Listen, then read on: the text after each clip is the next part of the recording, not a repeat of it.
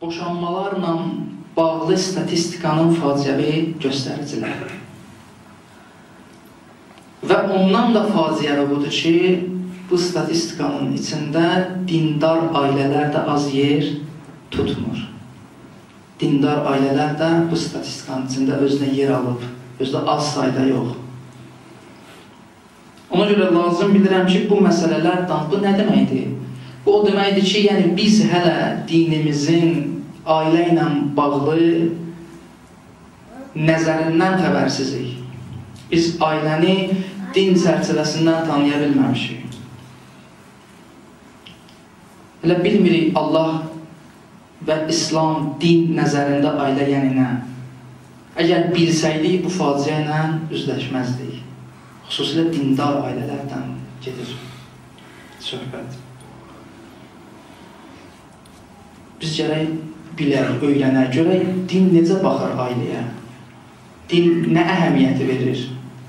Tövsiyəsi nədir ailə ilə bağlı? Çünki cəmiyyəti təşkil edən hər bir fərd müəyyən bir ailədən çıxır. Bir ailənin üzvüdür. Əgər ailə viran qalsa, sağlam cəmiyyətdən söz gedə bilməz. Ailə məsələləri möhkəmlənməsə, ailəyə əhəmiyyət verilməsə və tövhid qanunları hakim olması ailə məsələsində da gələcəyə ümid bəsləmək absurddur. Hansı gələcək? Ailə ki, xarab oldu, nə gələcək? Hansı cəmiyyət? Ümid bəsləmək yersizdir. Ona görə hər şeydən qabaq gərək ailə məsələləri aydınlaşa, dinimizin nəzəri, tövsiyəsi, baxışı nədir ailə ilə bağlı, biz gərək bunlarla tanış olaq. Və tətbiq eləməyə çalışaq həyatımızda. Həyatımızda tətbiq eləməyə çalışaq. Tohid eynəyi ilə baxa bilək.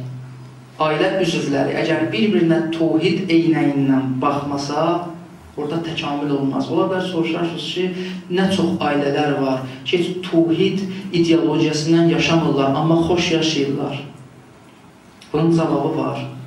Birinci cavabı budur ki, onların xoş yaşamaqlarının səbəbi budur ki, özləri də bilmədən İslamın göstərişlərinə əməl edirlər. Araşdırırsan, görərsən, odur ki, onlar rəftar edir bir-biri ilə elə İslamın göstərişləridir. Bu bir. İkincisi də biz zahiri xoşbəxtliyin dalıcan deyilik ki, ola bilər bir ailə tohid ideologiyası ilə yaşamasın, amma xoşbəxt olsun İslami göstərişlərə dolayısı yolla əməl eləməklə. Amma orada mənəvi təkamül olmayacaq. O ailə Allaha çatmayacaq. Tohid ideologiyasının, tohidi ailənin səmərələrindən, əsas səmərələrindən biri budur ki, insanı Allaha çatdırır həm də. Ola bilər orada zahiri xoşbəxtlik olmasın hətta. Amma Allaha doğru hərəkət edəcək. Əgər baxışı düz olsa. Tohid hakim kəsilməyənə qədər ailədə o problemlər yaşanacaq. Mən bir şuarla istəyirəm başlayaq mövzumuza. Bu 10 günlük mövzumuza bir şuarla ki, bu 10 gündə bizim şuarımız budur. Onun ətrafında müzakirə edəcəyik. O şuar nədir? Nə mənim sözüm, nə sənin sözün, yalnız Allahın sözü. Bax, bu bizim şuarımızdır. Bütün məsələlərdə, xüsusilə də ailə məsələsində.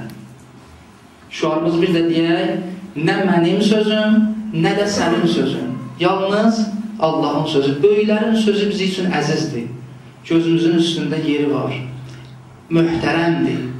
Amma əgər Allahın sözü ilə düz gəlməsə, bizi üzrü bilsinlər. Ailə məsələlərində görürsən, bəzi qanunlar var, yazılmamış qanunlar.